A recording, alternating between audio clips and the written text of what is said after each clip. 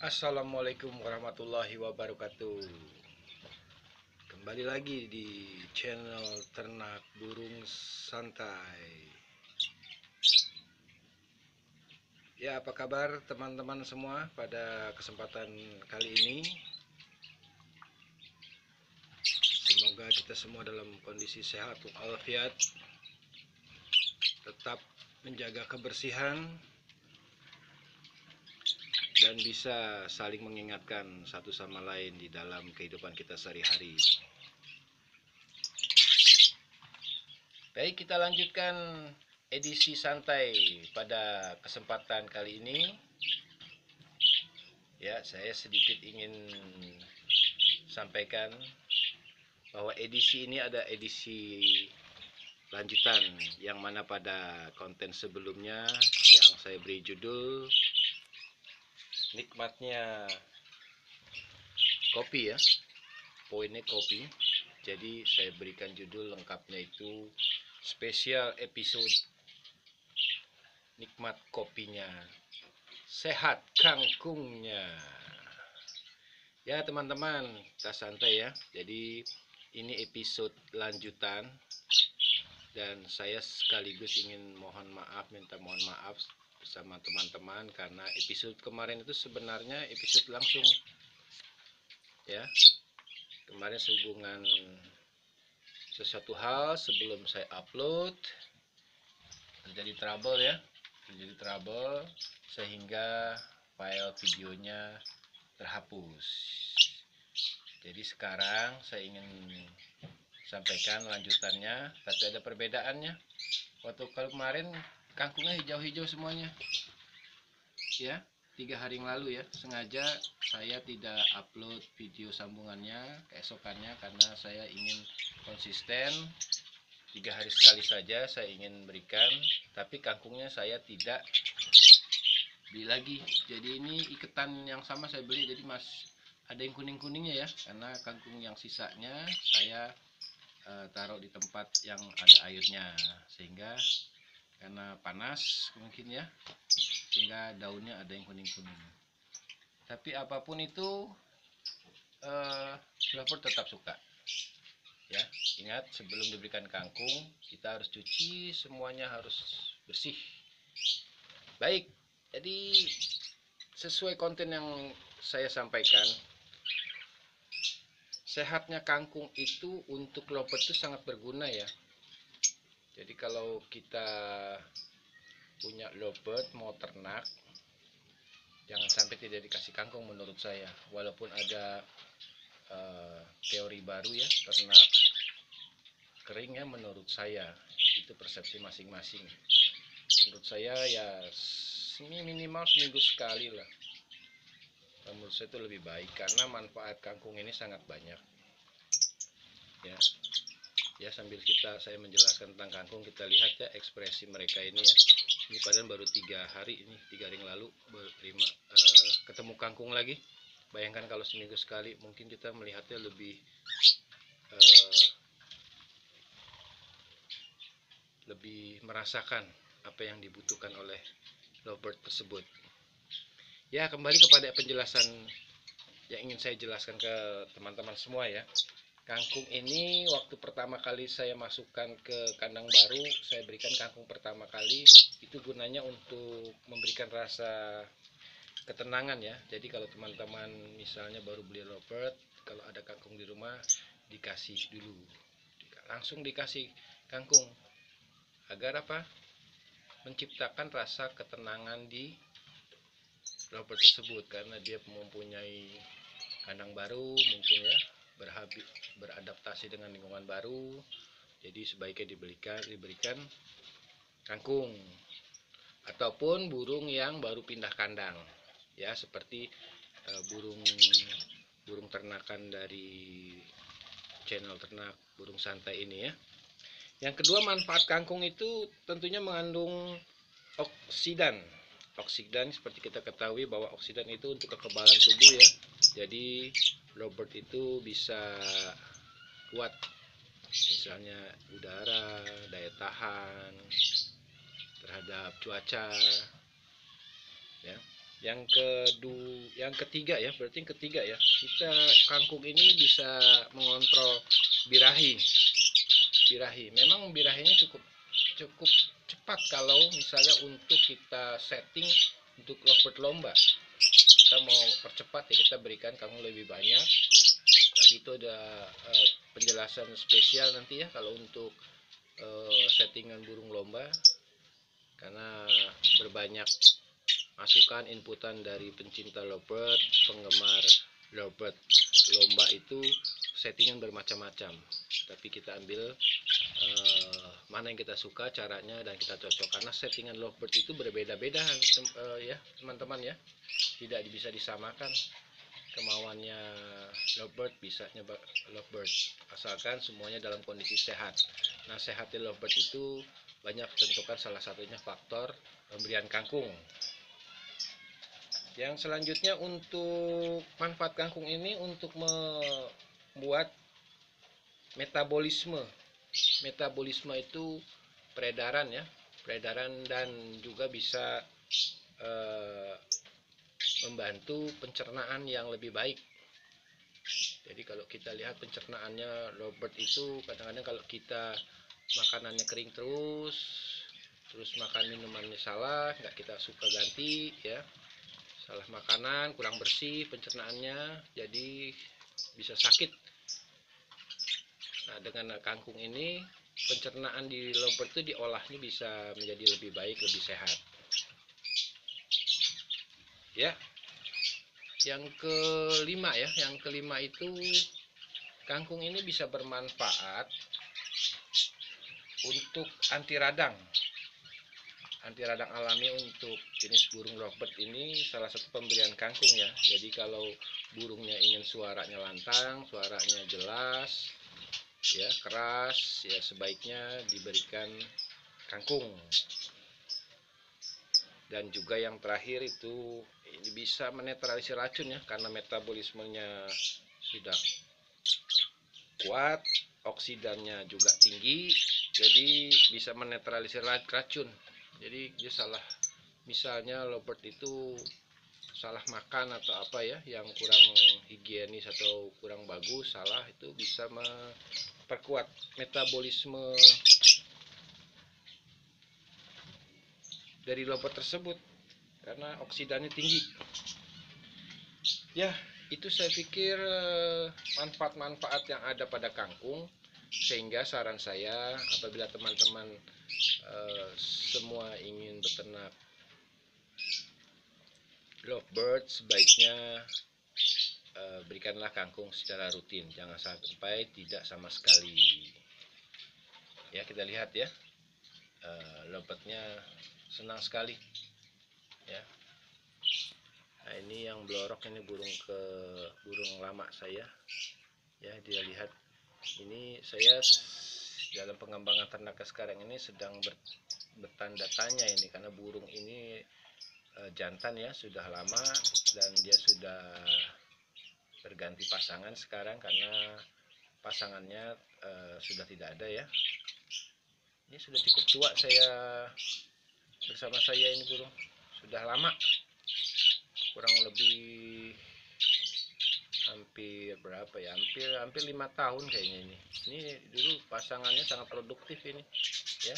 Dulu burung eh, ternakan saya cukup banyak ya. Banyak sekali bahkan ya. Ini sampai beranak cucu cicit. Nah sekarang pasangannya pasangannya eh, belum bertelur juga. Walaupun di ciri-cirinya sudah jendol ya di bagian bawahnya itu pantatnya itu ya. Nanti kita juga akan uh, cek video selanjutnya untuk episode kenapa burung lama dengan ciri-ciri ingin bertelur kok belum-belum juga kita harus pastikan dulu ya kita harus pastikan bahwa burung tersebut apakah memang e, berlebihan lemak ataukah ada e, masalah pada e, indung telurnya atau kesempatan mau telurnya Ya, teman-teman, ini kita lihat ya. Kembali kepada tentang konten kangkungnya ya. Jadi ini masih cukup cukup uh, bersemangat ya. Ini sekarang saya sudah biasakan jarak saya ambil videonya ini udah dekat nih. Dia mereka ini sudah terbiasa dengan adanya saya tadinya awal-awalnya takut ya. Sekarang sudah berjarak ya kurang dari satu meter ya dia sudah berani turun dan bahkan ada beberapa burung yang berani hinggap di pundak saya di naik ke kepala saya ya hingga inilah uh, indahnya santainya ternak. Burung ya. Jadi saya ingin sampaikan teman-teman semua channel ini bukan hanya membahas tentang lovebird saja. Nanti kita akan membahas segala hal tentang ternak burung. Ya mudah-mudahan saya uh, bisa memberikan uh, apa ya suasana untuk semangat semangat sekaligus memberikan edukasi bagaimana pemeliharaan burung ya. Karena saya juga lamanya ternaknya di lovebird mungkin ya sudah cukup pengalaman ya. Model-model ternakan baterai ataupun koloni ya. Jadi nanti kita akan lanjut kepada episode selanjutnya tentang semen apa tentang lovebird dari proses pindah kandang sampai dengan insya Allah sampai dengan kita melihat ya sampai berkembang biak dengan berbagai cerita ya dengan berbagai cerita tentang saya stick dulu ya tentang berbagai cerita tentang eh, burung-burung uh, yang ada di sini. Seperti ini halnya ini baru burung uh, baru menemukan glodoknya yang baru dan mudah-mudahan akan segera berkembang biak karena ini burung kalau berkembang biak bertelur ini telur yang pertama ya. Ya kita lihat. Ini burung yang pasangannya blorok ini betinanya yang tadi saya sampaikan yang sudah ada ciri-ciri ingin bertelur tapi belum bertelur juga nah ini yang kemarin telurnya sudah dua. Ya. Nanti kita cek berapa telurnya. Nah ini yang kemarin yang kemarin sarangnya berlebihan. Ya. Yang mohon maaf ya suara audionya kemarin hilang. Ini saya belum bisa cek ke atas ini kemarin gelodoknya punya dua. Ini pasangan baru yang sudah kawin-kawin. Oke saya kembali kepada gelodok nomor 6 ya. Mumpung saya ada di dalam koloni saya ingin lihat uh, sarangnya bagaimana. Karena bahaya ya. Saya sekaligus ingin menjelaskan apabila di dalam gelodoknya terlalu berlebihan itu akan kenapa ya ini ini yang saya sampaikan ini terlalu rajin sehingga akhirnya kita melihat bahwa apa yang harus kita lakukan sebagai pemiliknya kita harus mengurangi mau tidak mau ya. Karena apa? Karena kalau nanti dia bertelur beranak itu jarak antara sarang dengan is galak ya. Nggak mau sarang diambil aduh. Ya kita harus biasa udah biasa sudah biasa digigit. Gigitan burung lopet itu ada yang sakit sekali ya. Ya lebih baik begitu amannya. Ini kebanyakan sarangnya kenapa? Jadi kalau seandainya sarangnya kebanyakan nanti begitu anaknya keluar karena berdekatan dengan pintunya ya berdekatan dengan pintunya nanti cepat jatuh. Aduh loh ini dia. Ini udah ada telurnya. Dua dua tuh. Ini harus diperbaikin tuh. Saya lihat malah telur. Ini ada telur ini. Ah. Wah. Ini contoh lobot lutino ya. Ini jenis lutino ya betinanya ya. Ini yang kurang menurut saya terlalu rajin sehingga akhirnya melupakan ini mau ngeramnya caranya bagaimana. Jadi saya cukup ya mungkin dia harus kasih saya harus mengeluarkan di Bentar, ini burung cukup energik ya. Uh, galak dia ada telurnya. Nah, saya kasih lihat telurnya tuh. Mau tidak mau saya harus pastikan ya caranya begini ya. Kalau supaya nggak sakit begini di lingkup ya dia harus gitu. Dia susah terus. Jadi kulit kita telunjuk kita itu harus dibelokkan sehingga rasa keras dia nggak bisa kena. Tapi kalau tangan kita jari kita kita berikan gitu kita bisa kegigit. Oke saya pikir itu aja ya.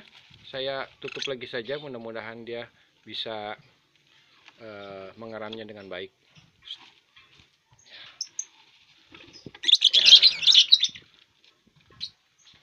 Baik, itu saja yang ingin saya sampaikan tambahannya tentang kemarin yang audio, audionya. Saya cek ternyata kurang bagus.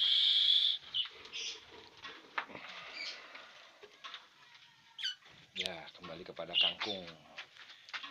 Ya, kangkung. Oke, mungkin semua sudah makan ya. Baik, teman-teman semua pencinta lovebird, pencinta burung, pencinta uh, keindahan dan tentunya menikmati tiap peliharaan burungnya ingin dalam kondisi santai tanpa stres tanpa takutan ya takutan tidak sukses ya tidak ada ya. Tidak ada dalam kamu senak burung. Kalau kita mengerti kebutuhan burung saya pikir uh, burung itu akan mengerti kita dan tentunya akan berkembang biak.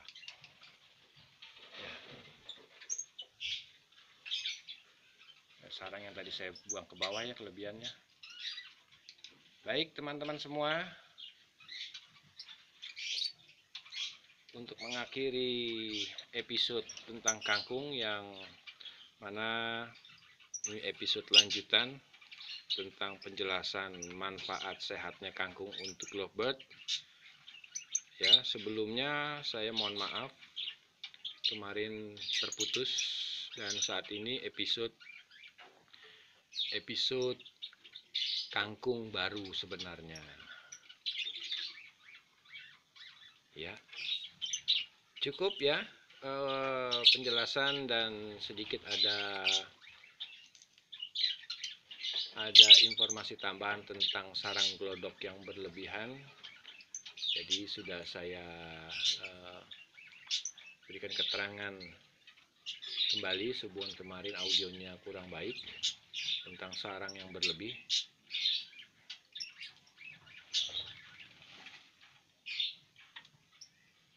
waduh ya